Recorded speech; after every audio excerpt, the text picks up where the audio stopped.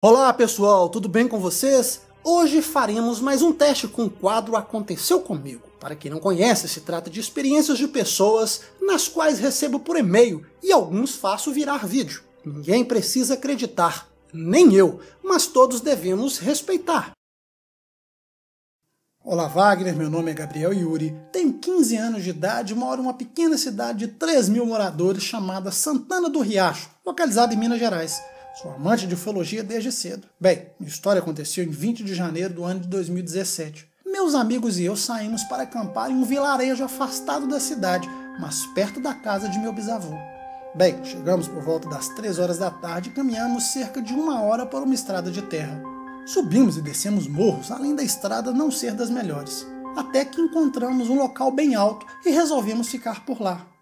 Montamos a barraca e fizemos uma fogueira. Era mais ou menos nove horas da noite. O clima estava tenso e havia algo no ar. Tudo era esquisito.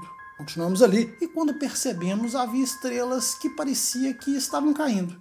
Na hora pensamos, estrelas cadentes, que lindo!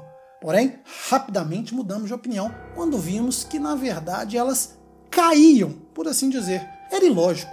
As estrelas andavam em várias direções. Na mesma hora decidimos tirar a prova dos nove. Então pegamos a lanterna, apontamos para o céu e ficamos ali, ligando e desligando. O curioso é que em alguns momentos parecia que aquilo acompanhava o piscar da lanterna. De repente a luz foi ficando cada vez maior, como se aumentasse de tamanho. Foi quando saíram outras luzes de dentro dela e simplesmente sumiram. Achamos tudo muito legal. Era lindo. Até este ponto, tudo ficou novamente esquisito quando ouvimos passos e vozes. Pareciam vozes de duas mulheres conversando, e na hora pensamos: não faz sentido. Ninguém mora aqui perto e muito menos passa por aqui. Então apagamos a fogueira e ficamos ouvindo. Os passos eram rápidos e chegavam perto. E quando parecia chegar perto das barracas, simplesmente desapareceram. Ficamos quietinhos, até que o doido do meu amigo mais velho resolveu sair da barraca para investigar.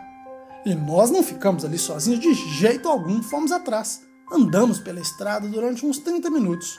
Não havia nada, não achamos absolutamente nada. E voltamos para trás mais tranquilos. Foi quando aconteceu de novo.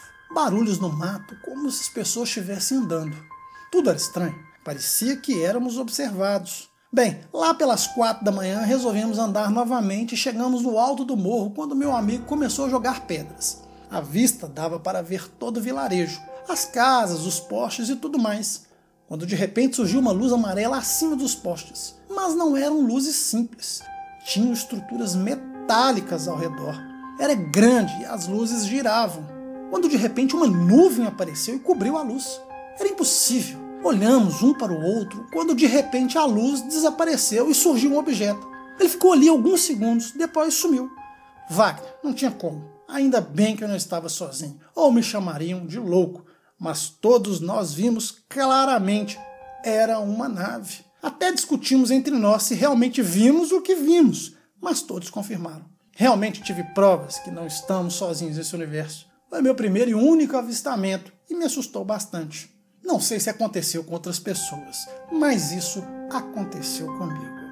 Olá, Gabriel, agradeço e lhe digo que é difícil ignorar os relatos, a quantidade dos relatos, porque a cada dia que passa, mais e mais pessoas alegam terem visto coisas além de nossa imaginação.